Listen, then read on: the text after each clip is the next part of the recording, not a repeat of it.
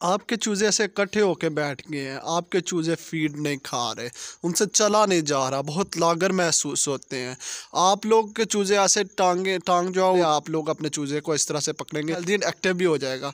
तो उसके बाद मुँह खोल के, अगर आपके पास सरिंज है तो उसके अलहमदिल्ला इसका स्टेटस चाहिए कि ये खुद ही पानी की तरफ़ जा रहा है। ठीक है ये आने का मकसद ये है कि ये प्रैक्टिकली जितनी भी बातें हम लोग करते हैं ये अल्हम्दुलिल्लाह प्रैक्टिकली होती आपके चूज़े ऐसे इकट्ठे होके बैठ गए हैं आपके चूज़े फ़ीड नहीं खा रहे उनसे चला नहीं जा रहा बहुत लागर महसूस होते हैं।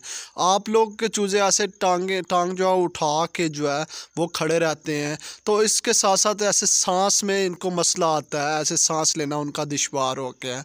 तो कौन सी जो गरों गरों वाली जो एहतियातें हैं वो आप उसके साथ करेंगे उनमें ज़ुकाम का मसला आ रहा है। सिर्फ़ एक फार्मूला और अल्हम्दुलिल्लाह घरेलू तरीके से आपके फार्म के चूज़े हों या घर के हों तो वो आपको प्रैक्टिकली भी इधर बताएँगे कि माशाल्लाह से ये कैसे एक्टिव हैं। लेकिन इससे पहले आप लोगों को चैनल को सब्सक्राइब करें। अच्छा सबसे पहले आप लोग अपने चूज़े को इस तरह से पकड़ेंगे।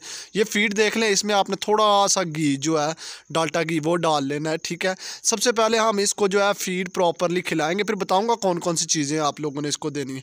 जब आप फ़ीड थोड़ी सी खिला लेंगे, थोड़ी सी खिलानी है आपने।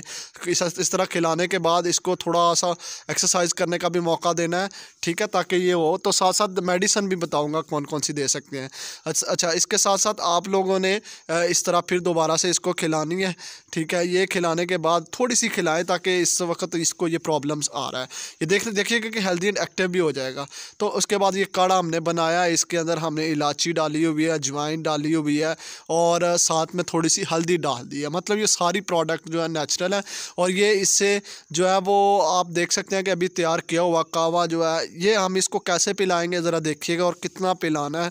और इसके बाद आप इसका स्टेटस भी दिखाएँगे आपको कि माशाल्लाह से ये कैसे हेल्दी ज़रा गर्म हो तो देखें इसको थोड़ा सा ठंडा होने दें।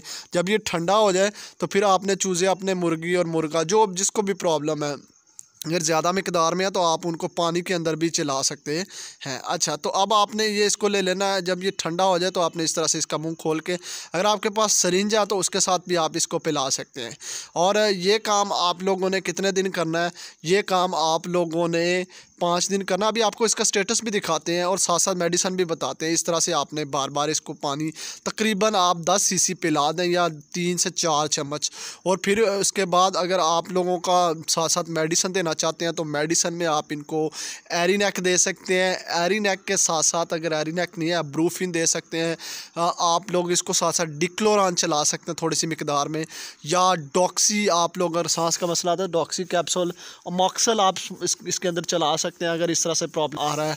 तो आपको ये भी बताते चलें कि ये कावा भी अगर आप सुबह शाम जो है वो चलाएँगे पाँच सी या दस सी फ़ी लीटर के हिसाब से तो आ, इससे आपके चूज़े, मुर्गियाँ और मुर्गे जो है वो हेल्दी एंड एक्टिव भी रहेंगे। और आपने इससे नहीं घबराना कि ये फ़ीड छोड़ें तो इन इससे फ़ीड भी ये खाएँगे, पानी भी ये खुद ही पियेंगे और इससे हेल्दी एंड एक्टिव भी रहें। आधे घंटे के बाद हम वीडियो बना रहे हैं और ये वही चूज़ा है, अल्हम्दुलिल्लाह।